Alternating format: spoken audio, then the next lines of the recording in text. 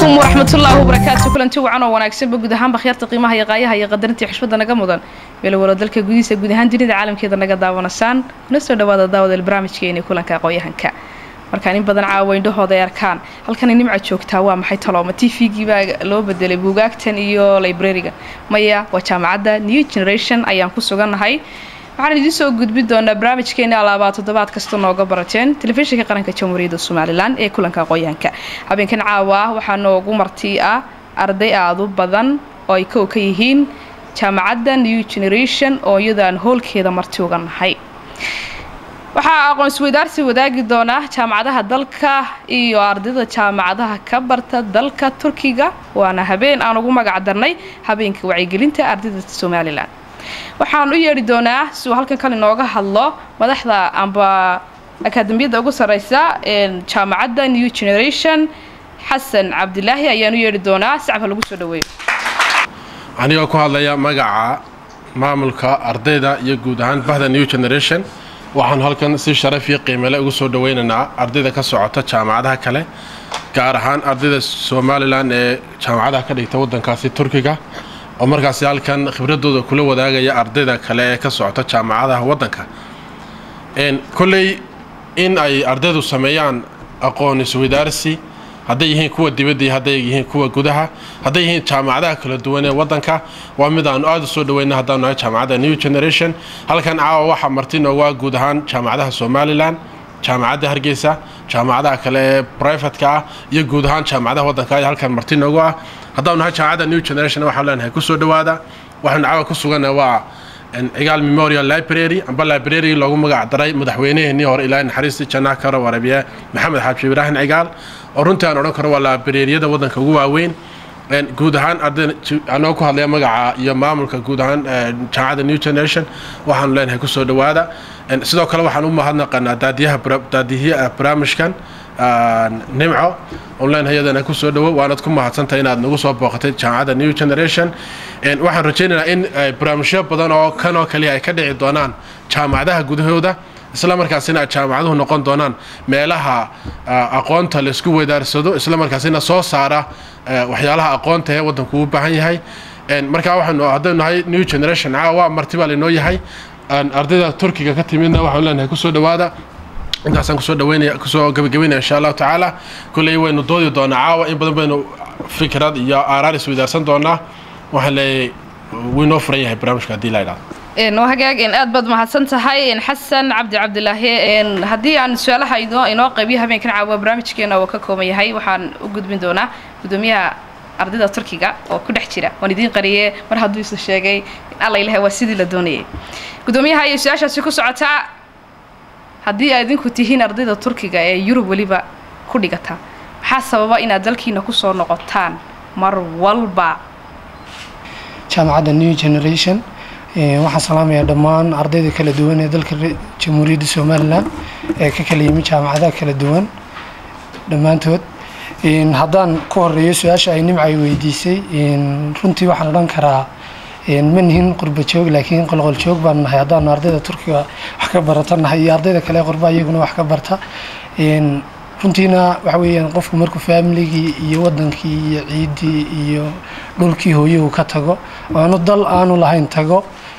Waxay ku kaliftaa qofka sideedda biloodaynu dhiganaa waxay nooga dhigan tahay annagoo toban sano ku maqnayn qurba sideedda biloodaynu jaamacadaha dhiganaa deetana dantu waxay nagu kaliftaa inaanu saddexdaa bilood ee fasaxa aanu isku dayno inaanu wadanka ilowyo ilooba nimaadno. Aniga iyo arday kaloo ila mid waxaanu nahay dadka ugu badan ee wadanka ku soo noqda inta badan xiliyada fasaxii sababta ugu weynna waxa weeyaan bal inaanu dalkii waxaanu ku kordhin karno isla markaana aanu ogeysiino dadka dhallinyarada inaanaan wadanka yurub uga sii tallaabayno naanu ahayn dad markay wax bartaan yurub qabanaya ama dalka markay ka tegeen ay ugu dambeyn doonto laakiin dal dadka dad dalka hooyo u maqan aanu nahay. Intaas ayaan su'aashaa kaga baxayaa waxaan yeedhayaa gudoomiyaha cabdifataax maxamed xasan gudoomiyaha ardayda jaamacadda qeybta dhaqaalaha waxay noo tahay caawa habeen weyn oo maxay tole inla martiin ugu yihiin. Dad walaalaheenoo ka yimi maxay tole dalka turkiga wax ku barta. Kolley waxay noogu yimaadeen waa inaynaa wax aqoon isweydaarsano sababta iyagu maxay tole halkan ay waxbarashadoodan iyo balteened maxay is dheer yihiin aanu eegno. Isla markaana inagoo maxay tole dad waxaynu samayn karnaa inagoo dalkeena joogan wax fara badan ogaan karnaa. Asxaab baad samaysan kartaa waayo waxa ugu badan dunida waxaa laga fikiraa waad heli kartaa waxaad cuntiy waxaad cabtaba laakiin human resourceka inaad qof bilaaadana maanta aad bartan ku barato hadhow biri ka maalin meel kaa saacida. Ayay wax weyn ku noqonaysa. Innagana markaa dadkan asxaabteena iswadaarsano wax fara badan aynu maxay tole isla kaashano? Inagu dalkeena haddii markaan joogno jaamacadeena kulli dalkeena ku yaallaa waynu isnaay waxaynu dhahnaa ma laha tayo waa laga tayo wanaagsan yahay. Jaamacad way dadka waynu ka baxnaa afar kun may ku soo baxo afartaa kun haddana hadhow tolo shaqa ma helaan. Hal mid baa laakiin anu idiin sheegaya idin la wadaagi lahaa miyaad u malaynaysaa maalintii aan faarax xumaar ka baxay secondary school? Waxaan ka warwarsanaa inaan hal jaamacad ka bixi karayo. Hal jaamacadoo keliyata talow ma ehli doontaa ama ma ka fargarin doontaa in hal jaamacad ka baxdo. Alxamdulillahi rabbil caalamiin sannadkii ugu dambeeyaan ku jiraa laba jaamacadood inaan dhammaynayo sidoo kalena waxaan ka mid ahaa arday ku soo baxday turkan laftiisa scholarshipkiisii waxaan interviewgii baan galay. Weli waan ka jawaabta marka ma aha waxa adigu gacantiisa uga haysid laakiin adigu waxaad la kartaa waa hamiga qadru laakiin xay ku xidhan yahay qadru min allah weeyaan dal sugaya niman kolley aabiyasheen ewoyasheen meel bay soo gaadhsiiyeenoo inkastoo maxay toole ay ingiriis nagu xoreeyeen haddana soomaaliya dib ugu celiyeen aabiyasheenna waxay ka saareen maxay toole qoladii aan la midownay waxay ka dhigeen waxaan la dhaha waxay curiyeen waxaan la somaliland somaliland cidda u soo dhalanaysa ma aha cid meel kale ka timi. Waa inta halkan fadhida iyo inta la midka dalka joogta. Adigu shaksi ahaan maaha ha ka fikirin. Ha madaxweyne wasiir hebel shaqaale hebel horta ha fikirin. Adigu naftaada markaad wax soo kordhisid.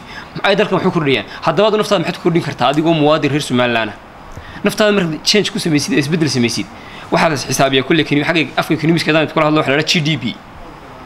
Waa dalka dhaqaalihiisoo laisugu wada geeyey meel laisugu wada geeyey oo loola rogayna tires ku ah. Haddaad dal daarahaas iyo buraha iyo lacag wax aliyo waxaasa laga wada dhigaya kharash ama lacag baa loo rogaya. Idan dalkaas intaas g d p giisu maryaa baa laga odhanaya haddaba g d p dalkan wuxuu ka yimaadaa dhammaan intiina bartan aynu joognaa. Haddaynu boqol shirkadood leenahay nin walba shirkad gaar uu leeyahay. G d p ga waa boqolkan shirkadood laysu geeyeen ogow haddii laakiin boqolka bartan fadhiyaa aanay boqol doolarba soo gelin.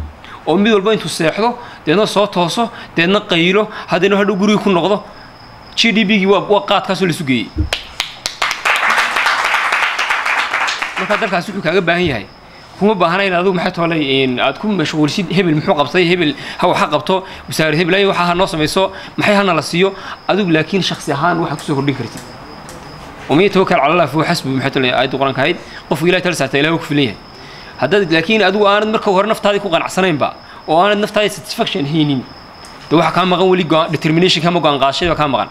Ardayda turkiga ayay hor fadhida iyagu jaamacadaha ka dhigta. Maxaad jeclaan lahayd inaad caawa weydiisaan ood la qaybsataan oo idinku kulul sida iyaguba ay idinku soo jeedinayaan hadallada kala gedisan yaa mikrofoonka iga qabanaya. Su'aasheeda haddii aan u soo noqdo waxaan weydiin lahaa ardaydan jaamacadaha ardaydan turkiga ka timid. Markaad ardaydu markay inta badan ay jaamacadaha dibadda tagaan ay aqoonta soo bartaan. Waayo dal bay u maqan yihiin dhalinyar bay u maqan yihiin dee dal dhan baa dirsaday. Oo waa xaggan ay weeyaan. Marka waxaan markay aqoonta bartaan dee dibidaa u sii tallaabaan. Waa dalkooda maanta dee iyagu baahan yahay oo dee aqoon iyo fikir dheeraada iyagaa la xirfado ay ay wataan marka ma la odhan karaa inay markaad xagga markaad aqoonta markaad aqoonta xagga u tagtaan aad soo barataan xaggan miyaad aad dadkii aad ama wax tabarcada ku siin kartaan aad wax ku bari kartaan oo aad ardaydii dee cilmiga aad soo barateen aad uga faa'iideyn kartaan. Su'aashaasaan qabaa waxaanu yeedhayaa yaxye yabeesh mar labaad su halkan inoogu soo istaago. Waxaan doonayaa inaan keer keera dul cararo maanseer oo ka hadlaysa wadaniyadda maalin maalmaha ka mid oo anigoo halkan meel halkan jooga sabab nasuulkii baan ka yar sheekaynayaa anigoo halkan jooga meel halkan lagu caweeyo summer time la yidhaahdo. Ayaa ayaa aan soo ag maray. Markaa laba samar ka hor meelahaasay ahayd ayaan soo ag maray markaa qolyo halkaa wax ku cunayay dabadeed inan dibadda ka timi baa imooday. Shaal cad baan xidhnay surwaal madow. Dabadeed inan baa imooday inaan weyter ahay. Dabadeed inantii baa ii yeedhay. Markaa waan dareemay inaan weyter imooday.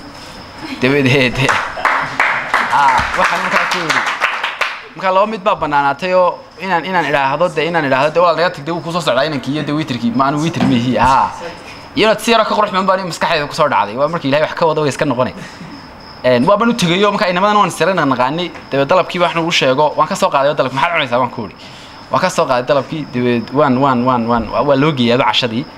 Dabeed markii dambe waan weyter maan ahayne waad iska qurux badnayd oo waan ku dhaha fikri waayey. Inantii meel baa go'day habeenkii xataa cashaaba laga qaadayba waxaan waxaan uga socdaa inantii baan yaro wada sheekaysanay marka inantu meelaha qurbahay ka yara timi markaa way yara hiibootin tahayo malaha dalkay xoogaa ka yara maqnayd. Ee, dabadeed maxay oo traafik waxay ka sheekeynaysaa mashaakilaadkii maanta dhacay oo dhan bay ka sheekeynaysaa ha ana cashada yare laysoo dhigay baan ka cuni kari waayey dabadeed. Dabadeed waxay ka warantaa un maxay maantana igu dhacay oo traafiik baa ishaxaaday oo halkan wax ku dhaco halkan aan ku jabi gaadhay oo meel halkan aan madoobaydo wax caynkaasa ayuunbay ka sheekaysaa inantu dabadeed. Markii markii dambaan markii dambaan marka mar kasta oo ay wax caynkaasa ka sheegaysa halkan iyo hargeysa. Waxay garab dhigaysaa haddii halkaa joogi lahayd wixii loo samayn lahaa bay garab dhigaysaa imika eeg tusaale ahaan haddii halkaa joogo caynkaa caynkaa caynkaa unbay tidhahdaa eeg imika tusaale ahaan unbay tidhahdaa halkaas unbay bilowdaa. Dabeed mar kasta oo ay hargeysa sheegayso sidii oo aan anigu eedda leeyahay oon anigu halkaa qashinka ku soo daadiyey. Ya oon anigu leydhkaa ka baktiyey oon anigu taraafiigaa ahaa oon waxaasoo sidiiyo sidaasoo kale iila hadlaysaa marka waxay ahayd iminka idinkoo kale haddii saa laydin waxaad dareemi lahaydeen in idinka ma garanaysaa idin- idinka laydin canaanayo. Anigu waxaaban dareemay kalsooni baan dareemay. Taasi waxay i tustay inaan qashinka leeyahay. Inaan meeshan madow leeyahay bay i inaan anigu waxaan mas'uul ka ahay ayay i dareensiisay inuu qashinkan yahay laba caagadood aan ku tuuray halkaa anoo maalin gaadhiga wata ayay dareensiisay soo maad garan? Mar kasta oo ay halkaa ka sheekaynaysana waxay ka dhigtaa kaanama ay marti ku tahay lama may leedahay de ma laha. Waxay ka tahay imka haddaan halkaa joogi lahaa. Umay tidhahdaa marka markii dambaan ku udhi waa sixataba qashinkii waxaan anigaa lehe. Adigu maxaad leedahay baan ku udhi adigu maxaad leedahay. May wallaahi de imka haddaan halka isoo warwaray adigu waxaan ka baxo miyaad ad halkaad leedahay sheeg. Ilaa qashinkan anaa lehe. Adumaad meel ba baan ku udhi halkeed leedahay adigu? Waxay markaa ku dareensiinaysaa maanta haddii haddii imka jirhkaaga waxaa laga yaabaa jirhkaaga inaad qaar baa yara saluugsanaad waxaa laga yaabaa jirhkaaga inaad yara saluugsanaad ama aad u yara madowdahay ama caynkaa caynkaa laga yaaba haddana laakiin waa jirhkaagii soo ma. Sow jirhkaaga adigu kuma jirtid. Adigu soo jirhkaaga kuma jirtid. Noocaa doontaba hawo jirhkaagii baad ku jirtaa.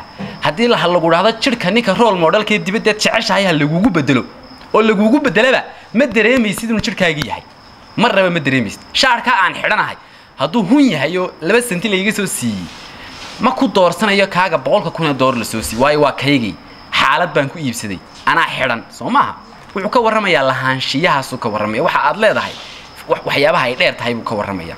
Aan qolyahana u faane markaan jaamacadda hargeysa dhiganayo iyo markaan ankara dhiganayo farqi baa udhexeeya farqi baa udhexeeya labada. Farqi baa udhexeeya farqi xoogaa udhexeeya ha ka tayo badnaadeen. Way ka tayo badan yihiin jaamacadda halkaas. Laakiin marka aan jaamacaddayda dhiganayo ya en garanayo profesorka en garanayo meesha ninka haysta en garanayo dhismahan xilliga lagu soo kordhiyey en garanayo dhismahan hoolkan cidda loogu magac daray.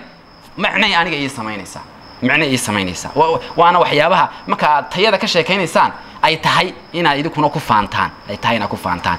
Qolyaha dibadda ka imana markay taraafigii waxaa ku sheegaan waxaa ugu jawaabaysaan bay maansadu ku baraysaa.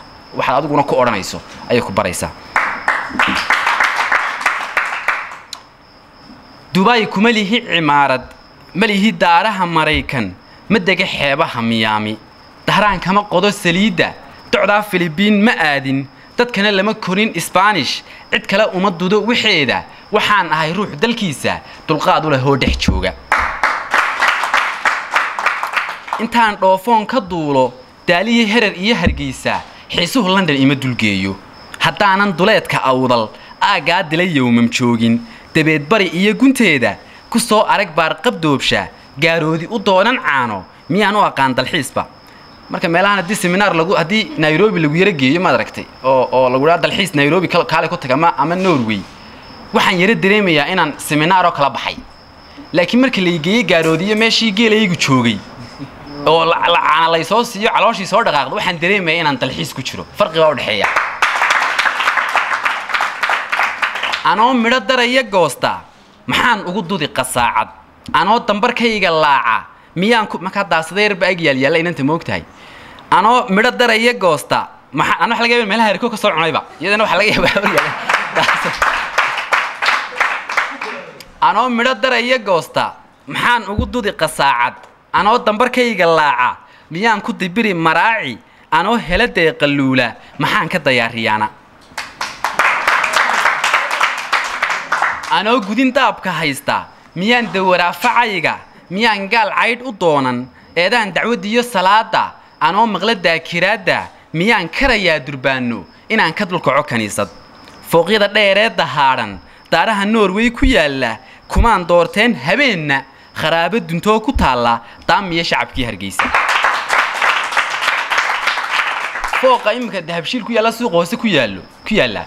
Haddii maanta nishido muraayad ka jebiyo muraayad ka jebiyo waxaan dareemayaa in gaadhigayga muraayad laga jebiyey siday ii tusinayso inaan anigu fooqaaley laakiin maanta waxa aan kara yaalla haddii degada laga dhigo ma dareemayo inu waxaygiyo ma dareemayo de lahaanshiyahay ku tusaysaa moogtay waa sababta keentay inay maalin kasta hadhownaag u jeegareeyaan qolyaha dibadda ku maqani maalin kasta hadhownaag iyo wararka dalka eegayaan. Waxay haddii meel baa wax ka yara dhacay la yidhaahdo meel baa go'aysa. Waa lahaanshiyaha iyo wadaniyadda ay dalkooga u hayaan. Dhulkiiyo degalkiiyo waxayga walow qashin daadsan buuxo.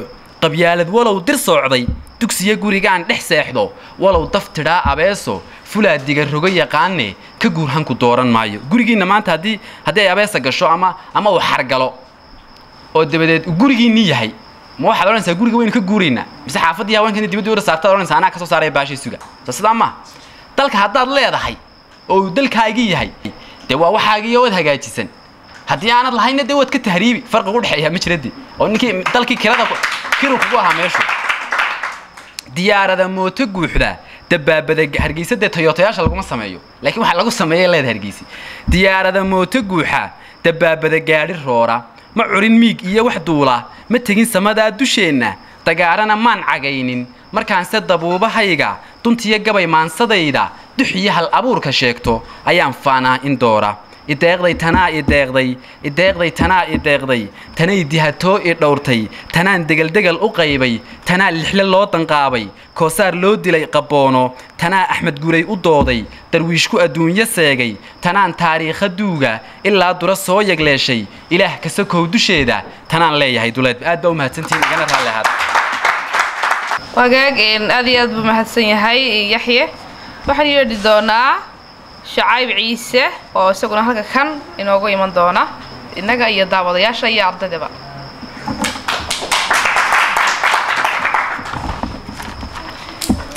bismi illahi raxmaan raxiim alxamdu lilahi wsalaatu wasalaamu calaa nabiyina moxamed wacalaa aalihi wasaxbihi wasalam ama bacd. Eh, Tv-ga qaranka iyo weriye nimca oo barnaamijkan soo qabanqaabiyey ardayda jaamacadaha ka timid iyo jaamacadda aynu martida u nahay. Intaba waan u mahad celinayaa ka soo qaybgalka iyo barnaamijkan quruxda badan leh. Barnaamijkan markii la soo qabanqaabinayay waxaa laigu yidhi hadda topic ka hadalo dalka waxbarashada dalka dibaddiisa iyo ta gudihiisa bal haddaa maxaa farqi u dhexeeya maadaama labadaba aan wax ka arkay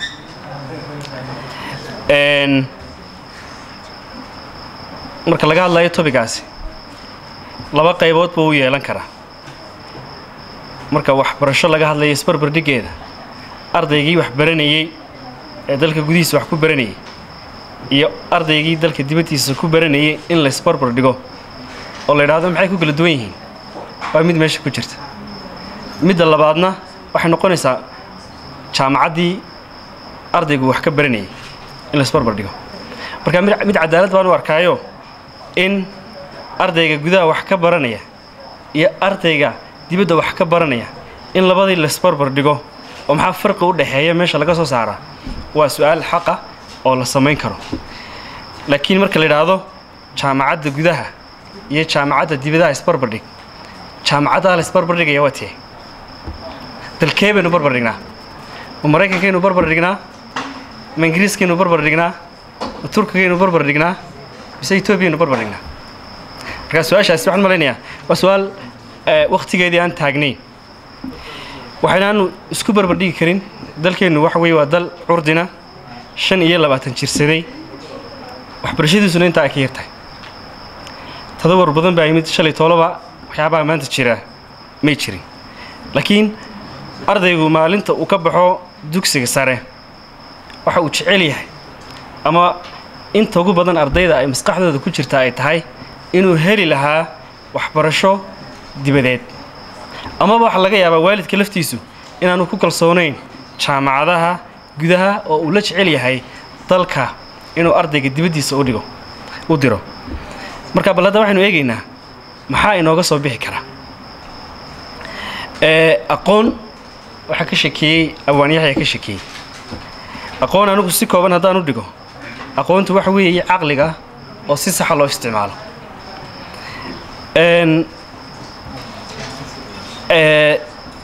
Ardaygu inuu dibad wax uga baxo faa'iidana way way yeelan kartaa.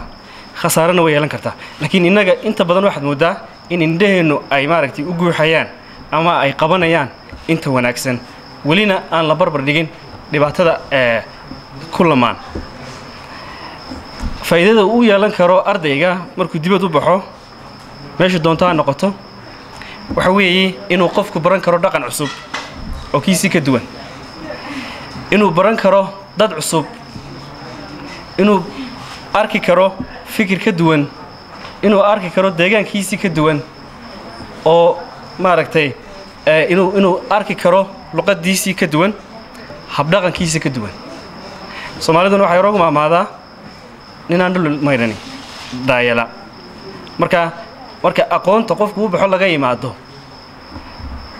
dhaqankaasi iyo dadkaasi iyo maxaa la dhahdaa noloshaasi cusub wax badan bay u kordhin kartaa waana faa'iido. Laakiin waxaan la isbarbar dhigin maxaa dhibaato ku ladhan ardaygu markuu u horraysa ee uu dibadda u baxo isagoo xiiso badan ku jiraan waqtigada u- horreeya dardar ay ku bilaabaa waxbarashada laakiin markuu waxoogaa wado waxyaabihii aynu sheegayna wada cusbaa ee marka hore aynu leenahay faa'iiday u ahaayeen iyaga laftoodu waxay ku noqdaan maxay? Dhibaatay ku noqotaa qofkii luqad cusub baa ayuu baranayaa dhaqan cusub buu baranayaa dad cusub buu baranayaa soomaaliduna sideedaba waxaad moodaa waxaa la dhahdaa waraabahan ayaan carabismi baan moodaayo. Inaanay maaragtay bulshooyinka ay ku nool yihiin in dhexgalkoodu aanu sidaa ugu sii badnayn. Baad moodaysaa. Marka waxay ku keentaa ardayga ee, culays bay ku keenaan. Waxyaabaha badan ee cusub ee ee markaa uu la kulmaya. Waxay ku keenaan boholyow. Uu u boholyoobayo dalkii iyo dadkii uu ka yimid. Waxay ku keentaa culays xagga waxbarashada ah. Deetana wakhtiyada u dambeeya ardayga waxaa ku dhaca inuu waxbarashadii ka soo gaabiyo waxaa ku dhaca ardaygii maadaama boholyow iyo kelinimo uu dareemayo inuu cid markaa soomaaliya oo uu ama asxaaba oo wakhtiga la qaato si culayskaa faraha badan ee dhaqankaa cusub iyo dadkaa cusub ee yimid uu dhex galay ka biisa. Deetana waxaa dhaca sideedaba ardayga gudaha wax ku baranaya iyo ardayga dibadda wax ku baranaya. Inta badan ardayda dibadda dibadda wax ku baranaysa waxa caan ay ku yihiin waxaa loo yaqaana habeen soo jeedka ama ardaygu internet ha ku soo jeedo ama sheeko ha ku soo jeedo ama hawl kale ha ku soo jeedo. Ee dalalka qaarkoodna ardayda etoobiya wax ka baranaysa masar wax ka baranaysa ama turkiga wax ka baranaysa iyagana ardayada kale ee dalalka kale wax ka baranaya waxay kaga duwan yihiin. Iyagu waxay marayaan waxay ku jiraan marin ee ee la maro oo oo oo inta badan dadkii tahriibayay ay marayaan taasna ardayga waxay ku soo kordhisaa culays dheeraada. Ardayga dibadda waxaa kaga bartaa ardayga gudaha wax ku bartay wuxuu kaga duwan yahay. Khaasatan waxaan ka hadlayaa ardayda cusub ee diyaarinaysa shahaadada koowaad ee digriga in ardaygu uu ama sanad ama laba sano dib u ku yimaado qaarkood inay waxbarashadii wadi kari waayaan oo meesha ay iska joogaan. Waalidiintoodana kharash ay u diraan ay u malaynayaan in waxbarasho ay ku jiraan culaysyada faraha badan ayaa soo fuula. Ee waxaa ka mid a qofku environment cusub markuu jiro markuu dadkii garanayay iyo dhaqankiisii ku dhex jiro waxyaabo badan oo xadidaya iyo xarka badan oo ku xidhan ayaa jira. Qofku markuu u baxo fursad aan faamiligiisii joogin waalidiintii aanay joogin waxa uu dareemaa xorriyad badan. Marka waxyaabo badan oo halkan kaga suurtogeli lahaa inay ka suurto galaan ayaa ayaa ayaa suuragala ardayga gudaha ku jira intaas oo caqabadood midna ma haysto. Ardayga gudaha ku jira siday u badan yihiin wakhtigii loogu talagalay ay waxbarashada ku dhameeyaan. Waayo faamiligiisii buu la joogaa asxaabtiisii buu la joogaa oy wax wada akhrisanayaan oy wax wada baranayaan. Taasi waa taa waa waxyaabaha badan ee uu kaga duwan yahay ardayga iyo fursadaha uu haysto ardayga ee dalka gudihiisa wax ku baranaya. Dabcan ardayga dalka gudihiisa wax ku baranaya isaga laftiisa caqabadaha hor iman kara.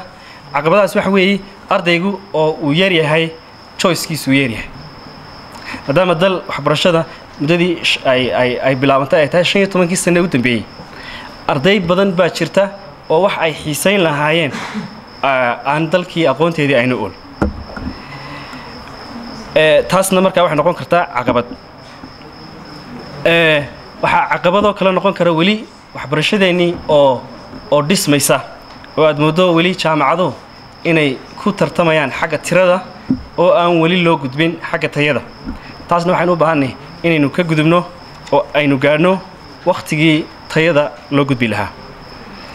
Ee markaa markay sidaa tahay ee isbarbardhiga aynu samayno kooban waxaan anigu talo kula soo jeedin lahaa ardayga gudaha wax ku baranaya iyo waalidkaba in aanu dibadda aqoon ugu bixin dalka laga helaayo.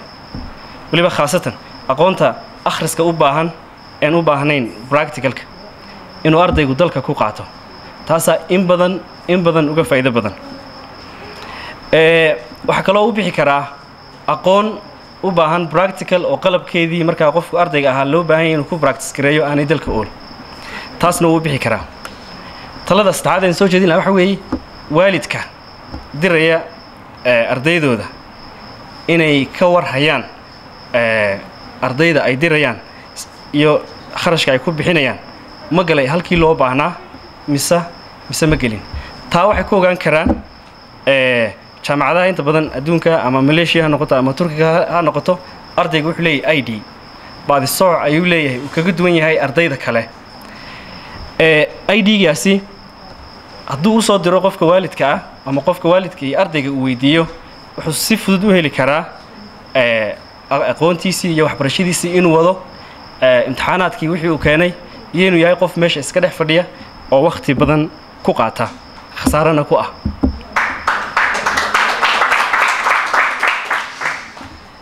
Ee marka qaybtaas waa qaybta aynu leenahay waxa weye waa sax waanu isbarbar dhigi karnaa. Ardayga gudihiisa ku baranaya iyo ardayga dibaddiisa ku baranaya. Marka anu waxaan qabaa anoon iswada raacinaynin ardayga dalka gudihiisa ku bartaa inuu in badan in badan ka tayo badan yahay ardayga dibadda ku barta.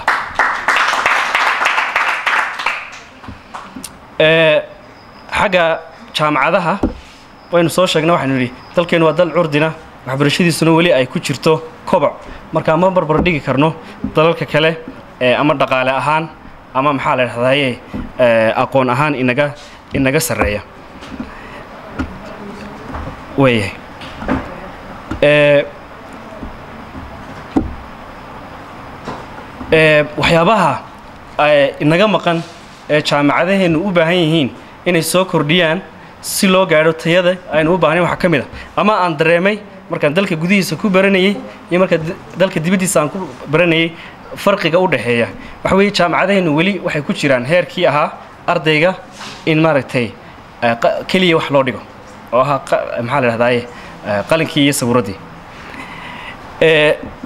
waxaad arkaysaa markaa jaamacadaha inay maaragtay ay ay isbarbar wadaan aqoontii iyo cilmi baadhistii sideedana dal marka loo baahan inuu kobac sameeyo waxa weeye aqoontu inta la barto keliya ma aha ee waa inta la kobciyo marka waxaa isbarbar socdood arkaysaa dowladdii oo research wata ganacsiyadii iyo businesskii oo research wada iyo jaamacaddii oo research wata iyo ardaydii oo research markaa wada. Marka intaasi markay iskaashadaan aqoontii bulshada iyo dalkaba wax badan ayaa ku soo kordhaya. Waxaa kaloo barbar socda seminaaro joogto ah oo arday walba iyo macallin kastaba fiilka uu ku jiro oo aqoontiisii kor u qaadayo. Marka taasna waxaanu odhan lahayn eh, in in lagu soo kordhiyo. Eh, guud ahaan waxaynu u leenahay waxaynu taagannahay wakhtigii tayo la soo kordhin lahaa oo aqoontu ay ka bixi lahayd jaamacaduhu inay tiro noqoto. Aad iyo aad baad u mahadsantihiin. Hagaagin aad baad mahadsantihiin. Inkastoo aynu waqtigii aynu ku qaadanay khudbado dhaadheer rajeynaya insha allah inay cid walba maqashaba faa'iido u yeelan doonto idinkaba. Ardayda ayaan dib ugu wareejin doonaa iyagu martida inoo haddii ay hayaan asalaamu calaykum waraxmat ullaahi wabarakaatu ardayda turkiga iyo ardayda jaamacadaha kaleba aad baan u salaamayaa new generation oo hoolkan fidsana waan aad baan iyadana u salaamaya. Run ahaantii ardayda soomaaliyeed marka laga hadlayo ama ardayga soomaaliyeed caqabado fara badan baa haysta. Caqabadaha haysta waxaa la dhahaa ardayga markuu jaamacadda dhameeyo daraasadihii la sameeyey afar wuxun baa u soo baxa weliba kuwa somalilan markaan ka hadlayno iyo hargeysa inuu ardaygii doon raaco uu tahsaa ku tahriibo in dowladda cidi ugu jirto oo saa ku shaqo galo inuu dahabshiil tago oo shahaado shisheeye uu sito saa isna uu ku tago. Iyo ugu dambayntii inuu dee dadaallo kale fara badan uu sameeyo. Waa afartaa da unbuu ugu badan. Markaa su'aalaha anigu aan weydiinaya ka ardayahaan waxaan weydiinaya waxaa laga yaabaa in arday fara badan ama dad fara badan oo u xiisa qaba inay turkiga tagaan ay jiraan. Markaa su'aasheedu waxa weeye maxaa sababaya ama ardayga maxaa u fududaynaya inuu turkiga tago ama su'aali waa taa su'aasha labaadna waxa weeye maadaama adinku arday tihiin somalilan arday intee leeg ama door intee leeg ayay u baahan tahay marka ardayda qurbaha tegaysa scholarshipka intee in leeg baynu baahannahay iyo taa saddexaad oo noqonaysa ku soo gabagabayn ood ku badiyee ardaygu maxaa u sahlaya inuu creative noqdo? Inuu wax abuuro uu hal abuur noqdo oo ibka tusaalahaan jaacadda hargeysa anigu ardayda aniga cabditaab waxaanu ka mid nahay ardayda sanadkan qali jibinaysa sideed iyo afartan kooras baanu dhiganay. Sideed iyo afartan kaa kooras aanu dhiganay hal kooras oo kuma jiro xirfadaha e marka ardaygu inuu interboner noqdo oo dee creative noqdo hadhowna dee isagu kaabo. Maxaa u fududaynaya intaas sun baan weydiinaya aad u mahadsan waad mahadsantahay walaal nimco barnaamijka daadiinaysa inaan salaamay su'aasha koowaad ee ah muxuu ahaayey ardaydu sidee u iman kartaa turkiga horta berigii hore aad bay u fudeen runtii oo waxaa jiray scholarshipyo la bixiyo. Ay dowladda turkiga u bixisa ilaa iminkana way bixisaa. Laakiin se xadigii scholarshipyada la bixinayay aad baa loo yareeyey gaar ahaan dhanka soomaalida. Waayo ardayda soomaalida aan idhaahda weliba dalkan soomaaliya waxay u badan yihiin arday markay yimaadaan meesha sii dhaafa oo tahriiba. Marka waxaa la odhanayaa ardaydii soomaalida markay wada timaado waa kuwan sii wada baxaye aanu ka yarayna meesha kuwan aqoon uma socdaane magaranaysa taasaa sababtay inay yaraadaan scholarshipskii laakiinse ardayda somalilan aad bay u dadaashaa. Siiba ururka ardayda somalilan ee turkigu si bal dee loo kala saaro labadan dal waa laba dal oo kala baxay.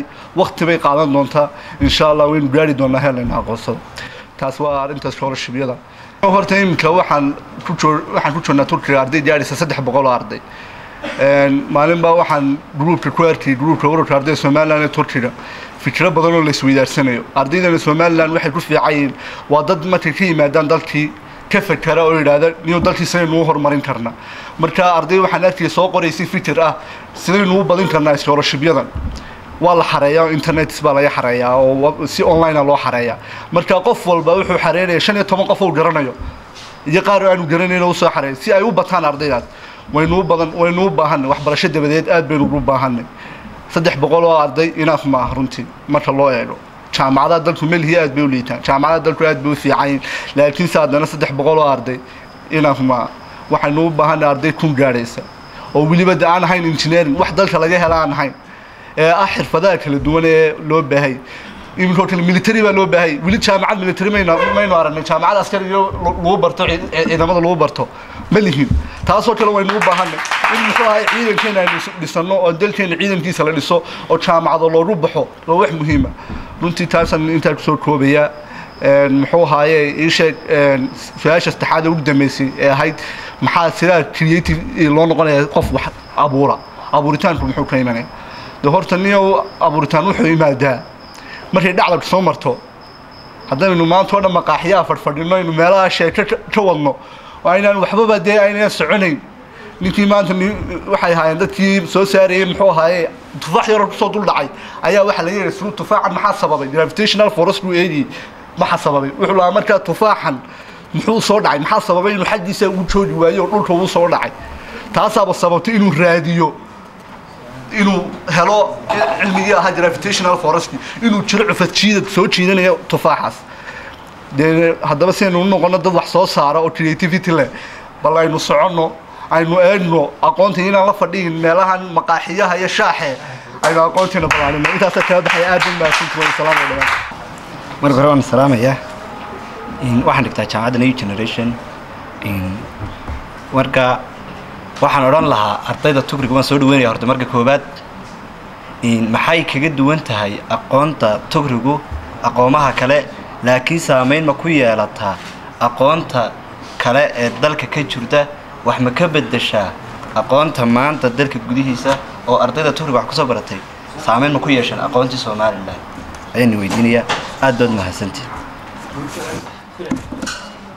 waxa weeyaan su'aashu aqoonta tugrigu saameyn ma ku yeelataa dalka gudihiisa ardayda tugrigu markay wax ku soo bartaan oo raad ma ku reebtaa bulshada somalilan si ay wax uga bedesho الحمد لله الحمد لله نحمده ونستعينه ونستغفره ونعوذ بالله من شرور انفسنا وسيئات اعمالنا فلا هادي مضل له ومن يضلل فلا هادي له بسم الله horta haddaan isku dayo saddex su-aalood baan diweydiinaya horta maadaama maanta waxaa tihin dhallinyarada dadka wax usoo baratay ama aqoon leh annagu aqoon waan leynay laakiin wax muhiima aqoontiina in laysku dabaqaa muhiima marka saddexda su-aalood aan diweydiinaya si directi horta su-aasha ee, su-aasha koobaad waxay u abaaraysaa guddoomiyaha gudoomiye su'aasha ku weydiinayaa maxaa sababa ama maxaa keeni kara tahriibka dhallinyarada mastareedka inta diyaariso turka ka diyaariso ay ku tahriibaan maxaa sababa?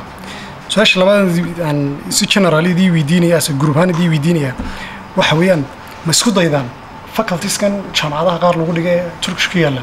Inaad sida jaamacadada new generation oo kale aad keentaan oo tiraan fakalkaasi waa fakal aad u wanaagsan dhigta allahuma salli calaa materialkiis materialskiisa haddaad soo qaadi kartaan aad soo qaadaan.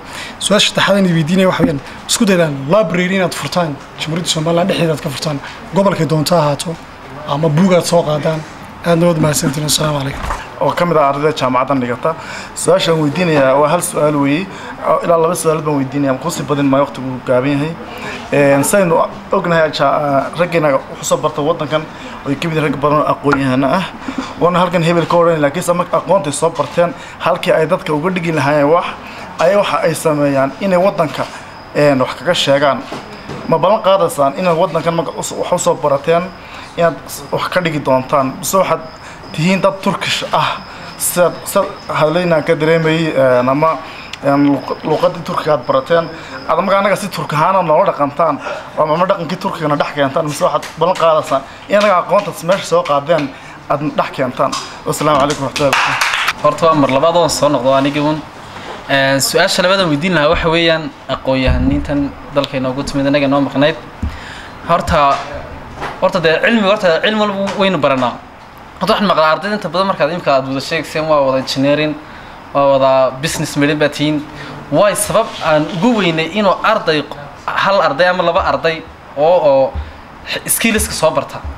Waayo dalkeenu dee maaha inaynu barano aqoontan keliya ma inaynu dee aynu ku shaqo tagno un waayo dalkeena waxaa waayo waad aragtaa kan. Waxa soo saara waa waa waxa soo saara waa sacuudiyan baa keenaa turkish baa laga keenaa dibadda laga keenaa. Een, dad afrika ka yimid ayaa intay noo imaadaan ayay kuway noo sameeyaan. Waayo soomaaliduna ma taqaano. Waayo dee waxa loo baahanyay inaynu barno. Waayo markaa maxaa niyo ma waxaa la odhan karaa jaamacadda ard jaamacadda xaggaas turkiga ku taalla ayaan lagu dhigan. Mise way ku jirtaa oo ardaydan halka inaga tegaysa ayaan jeclayn inay barato xirfadan skilliska dee si ay markay hadhow dalka yimaadaan ay u baraan. Waa su'aasha labadan qaba waxa weeyaan. Dalka waxaa dhaha dee shidaal baa laga raadinayaa horta dani maasha allah waxaan u malaynayaa dee siday tahay dee shidaal waynu haysanaa iyo baatrool ba waynu leenahay dee inta badan waxaan idhahnaa dee waxaan u yeedhanaa dal ayaan u yeedhanaa imka sida la dhaha buurta siimado kale boorma ku taallaa dee anu weli ma arag qof soomaaliya qodaya ama de qof soomaaliya shaybaadhi weli maan arag dee waa caddaan un baan arkaa waayo sabab loo waayay arday soomaaliyeed oo inta cilmigaas soo barataa ay idhaahdaan dalka waayo dalku u baahan yahay haddii maanta nin soomaaliya lahayd dee nin caddaan looma baahdeen san iyo waxaan is leeyahay anu maadadaas ayaa adagoo se ardayda aan ardaydan soomaaliyeed ee weliba gaar ahaan somaliland somaliland adhehe ka tegaysa ayaan niyo baahnay inay barato. Se maxay u baran waayeen cilmigaas intay soo bartaan dalkooda hooyo yimaadaan oo ay u soo saari waayeen batroolkaas. Asalaamu calaykum warahmatullahi wabarakaatu bismillaah asalaamu calaykum waraxmatullaahi wabarakaatu anoo magacaygu yahay hoodo cumar xasan. Kana socda fakalka development studies ee jaamacadda new generation.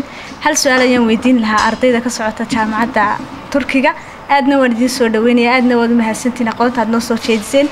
Su'aashaan idin weydiinaya waxa weeyaan maxaad u baran weydeen fakalka amaba de maxaad u baran weydeen cilmiga bolitigiska ee siyaasadda? Waayo ah dalkeena lagaba isticmaalo bolitics keliyata waxaa laga isticmaalaa waa qabyaalad iyo qabiil. Ina hebel iyo ina adeerka iyo waa hebel ayaa la odhanayaa. Lama odhanayo qofkan waxbuu soo bartay ee maxaa loo siin laayahay aqoonta. Qofkii aqoontiisi laguma tixgelinayo keliyata qof walba wuxuu soo jeedinayaa keliyata qof walba wuxuu soo jeedinayaa inuu soo dhawaysto cidda wax isku yihiin. Lacagta amaba kharashka soo gala ee ganacsigiisa ka soo baxa wuxuu u jeedinayaa un si aanu faamiligiisa uga bixin. Waayo maxaad u soo baran weydaan luuqadda fakalka bolitigiska aad iyo aadna waad mahadsantihiin horta librarigaas muddo badan baan ka shaqaynaynay. Sanadkii hore oo dhanba waxyaabaha ugu muhiimsan ee urur baan leenahay somalilan ka somalilan ahaan ururkaygaasi marba sanadba waxbaa focuska la saaraa.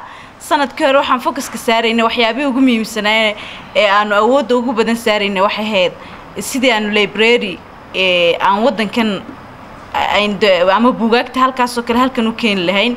Runtii wasiiradu waqti bay halkan noogu yimaadeen waxay nooga ballan qaadeen inay kaargooga buugaagtaas la ururinaya inay naga saacidi doonaan maadaama arday ardayda jeebkooda waad iska garanaysiin.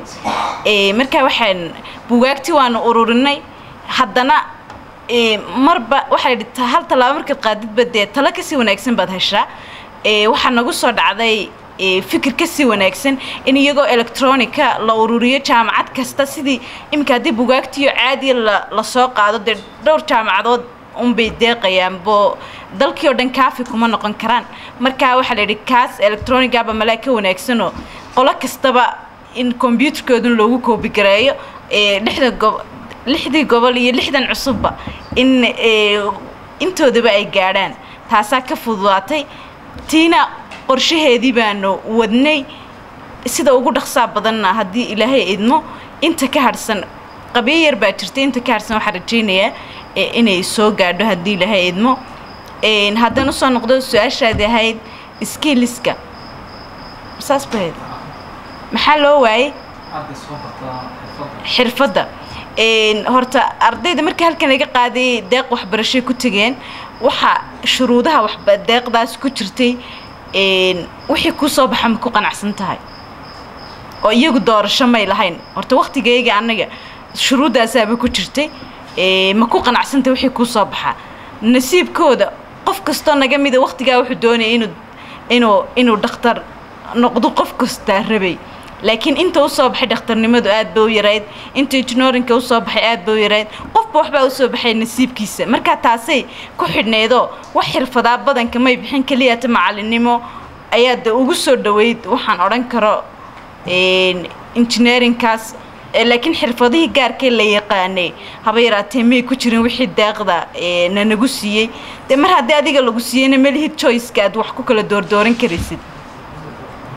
Su'aashaadii labaad. Arrintii macdanaha arrinkaas horta qofku wuu soo baran karaa cilmigaas dee qofkan keenay iyo kuwan kale adduunyada kale baranaysaaba waxba kuma kala duwaninoo dhammaanteenba sagaaluun baynu ku dhalanay. Laakiin waxa weeyaan wax kasta hawl kastood qaadanaysid ama hawl kastood gelaysid waa inaad hubkeeda u wadatid. Qofkii aqoontii wuu soo baran karaa laakiin waa inaad qalab waxani waa radioactive bay leeyihiin saameyn bay jirkaaga ku yeelan karaan. Mustaqbalkaaga dambe waxyaaba badan dhimashay kugu sababi karaan. Waa inaad haysatid qalabkeedii haddii aanad qalabkii haysan kun aqoomood aqoonood kun aqoon haddaad soo baratid oo aanad qalabkii iyo wixii lagu sameynayay haysan dee aqoontaadaasi waa biyo kama dhibcaan. Waxa ay kuu taraysaa haba yaraatee ma jirto. Anigu saddex su'aalood baan ka jawaabi doonaa. Su'aal aan hore doonay inaan uga jawaabana oo yaxyayna weydiinaydna ku celin doonaa. Su'aasha kuwaad waxa weeye markii yaxyayna weydiiyey turkigu muxuu bixiyaa scholarshipka? Waxaan malaynayaa su'aashaasi jawaabtaasi ma aha mid qarsoon. Haddii aad gasho website-ka ay leedahay wasaaradda arrimaha dibadda ee dalka turkiga waxaa ku qoran waxaa ku qoran eh, siyaasadda ay ka leedahay africa marka turkigu laba kun iyo saddex iyo toban wixii ka horreeyey eh, dhaqaali eh, exportka ugu badan wuxuu u dhoofin jiray yurub sidaynu og- ognahayna dalka turkiga dhaqaalihiisu wuxuu kordhay dhowr iyo tobankii sane ee u dambeeyey. Warshado badan buu abuuray. Deetana suuqiisii ahaa yurub oo ugu badnaa ruushka iyo jarmalku. Waxay noqdeen qaar buuxsama oo markaa suuq badan aanu ka bannaanayn wixii ka dambeeyey wuxuu suuq ka helay dalalkan carabaha middle eastka. North africa iyo intan middle eastka loo yaqaano ayuu suuqiisu u soo wareegay. Weli wuu kordhayaa eh, dhaqaalihiisii iyo warshadihiisii marka hadda halkuu eh, maanka ku hayaa waxa weeye waa africa oo ah eh, suuq dihin oo alaabta loo loo loo loo loo suuqgeyn karo. Marka jawaabtu waxa weeye turkigu wuxuu doonayaa inuu alaabtiisa iyo dhaqaalihiisa suuq u helo taas awgeed baanu scholarship bixinayaa. Laakiin su'aashaynu isweydiinaa waxa weeye africa iyo weliba inagoo somalilanah maxaa inoo yaalla maqaar waxaynu noqonaynaa maqaar alaabtaasi laynoo keeno qaata keliyaynu noqonaynaa mise qaar u yaalo maxaa la dhahdaye qorshe kale. Su'aasha labaad waxa ay ahayd saamayn saamayn intee leeg bay aqoonta turkigu ardayda soo noqotay ay ku yeelataa. Su'aashaasi waxa weeye horta ardayda turkigu wakhtiga la tegey waa wakhti kooban. Ardaydii ugu horreysay laba kun iyo koob iyo toban ayay ayay baxeen ardayda ilaa hadda somalilan joogta waxaa lagu qiyaasaa ilaa saddex boqol in yihiin. Qoladii lodkii ugu horreeyey waxay qalinjabiyeen sannadkii hore. Isla imikana markaa waxay ku soo noqdeen dalka waxay macallimiin ka yihiin jaamacadaha sida ardayda kale ee meelaha kale ee duwan ay wax uga bartaan. Su'aasha saddexaad ee aan ka jawaabaya waxa weeye ardayda markay turkiga tagto luqadda waxay soo bartaan turkiga. Ma isku daydaan in luqadda af soomaaliga aad bartaan taa waxaan kaga jawaabi lahaa. Horta waxaynu u baahanay soomaaligii maanta innagaa u baahan inaynu baranno cid nooga baahi badan ma jirto. Eh, intii dalka lagu soo noqday eh, ardaydii eh, iskuulladii dowladda waxaa ku dhacay. Daciif dacif baramada ku yimid. Ardaydii waxay galeen iskuullo private ah. Iskuullo privatekana waxaa loogu dhigaa inta badan carabi. Iskuullada qaarkood waxaa lagu dhigaa english. Marka manaahiijtooduna qaab bay u kala duwayn. Ardaydii markaa soo baxday waxay noqotay qaar soomaali iyo english ama carabi iyo english jacbur ah isku isku isku eh, eh, ku hadlaya. Marka barax badan baa ku yimid. Marka horta intaanaan cid cid kale u gudbin waxaynu u baahanay innagu inaynu baranno luqaddii soomaaliga oo aynu luqad badhax tiran oo xoogan aynu ku hadalno. Markaasaynu dad kalena gaadhsiin karnaa. Ee luqadda su'aasha afraad ee ka jawaabaya waxa weeye maxaad u baran weydeen siyaasadda. Kolley waynu kala fikir duwaan karnaa anu waxaan qabaa ardaydu inay u baxdo aqoonta aan dalka ool ee dalkuna baahi badan uu qabo ee waxtarkiisa iyo horumarkiisa ka qayb qaadan karo. Taasoo nagu horraysiinayo beeraha iyo maxaa la dhahdaa hadday noqoto shidaalka. Intaynu eegno khayraadka dhulkeenna yaalla waa maxay? Sidii aynu markaa aqoon la xidhiidha oo dalkii wax ka tarta inaynu baranno muddooyinkii u horreeyey oo dhan imka jaamacadu waxay soo saarayeen waxa weeye waa accounting waa management. Shirkadeennu way kooban yihiin. Dahabshiil iyo teleson baa ugu weyn. Marka intaasoo ardayda jaamacada ka soo baxaysa waxay u shaqo tegayaan oo manager ka noqonayaan dahabshiil iyo teleson mise waxaynu u baahan nahay aqoon maxaa la dhahdaa beerihii dalka lagu qodo oo dhaqaalihiisii lagu kordhiyo. Markaa waxaan filayaa inaynu aqoonta wax soo saarka iyo maaragtay aynu u badanno. Siyaasadda lafteeda waa loo baahan yahay. Afartaas su'aalood baan ku soo koobi doonaa. Aad baa mahadsantahay. Idiin salaamaya waqtiga fiican idna siiseen iyo waqtiga fiican bahda saxaafadda wariye nimco shirdoon iyo t v-ga qaranka inamada shaqaala dhammaantood waan salaamayaa. Haddaan su'aashaa ka jawaabo weydiiyey walaalkay ahayd maxay arday badan oo master diyaariyaan uga tahriibaan dalka turkiga?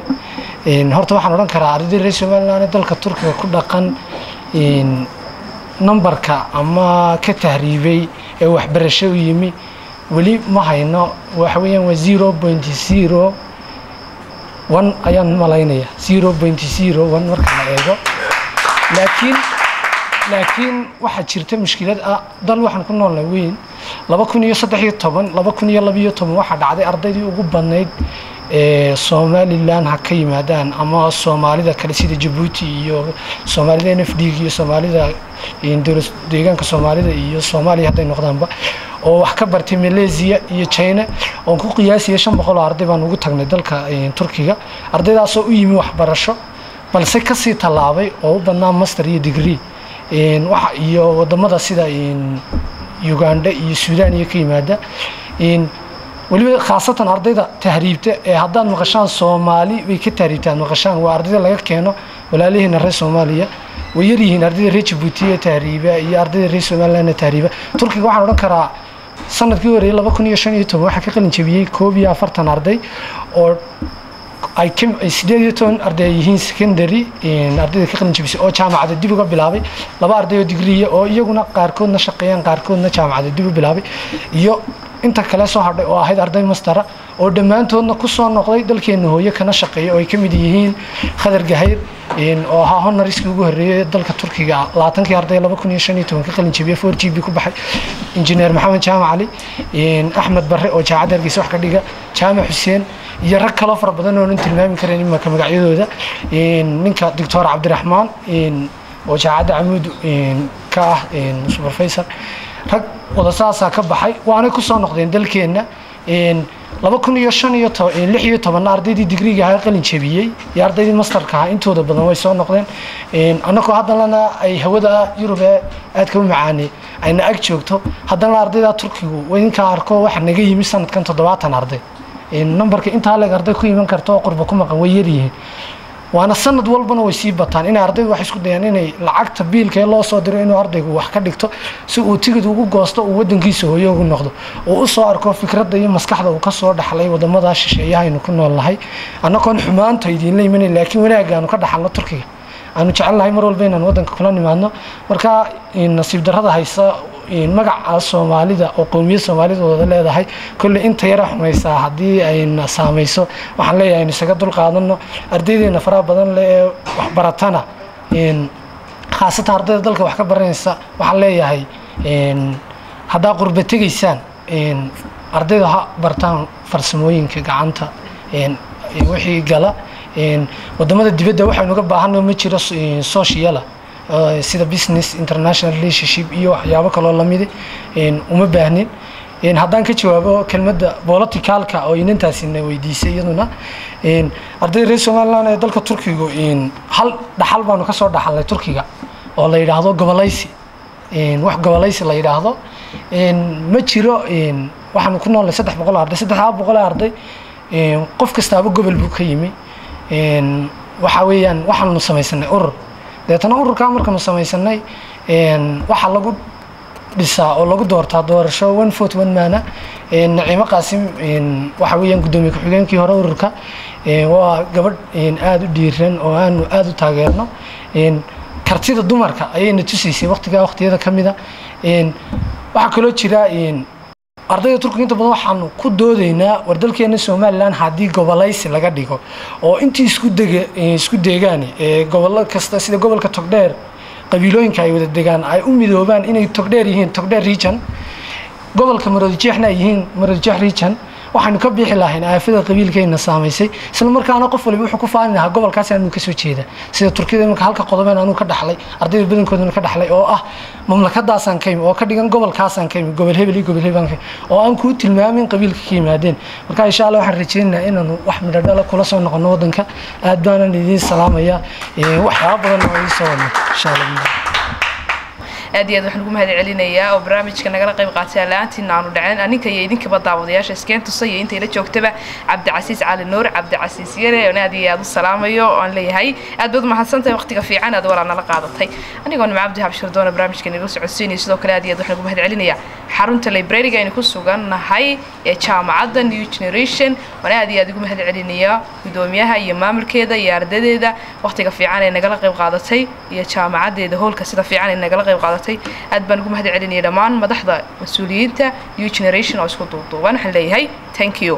Barnaamijka mida insha allah intaan isugu muddo waxaan diga tegaya asalaamu calaykum waraxmat ullahi wabarakatu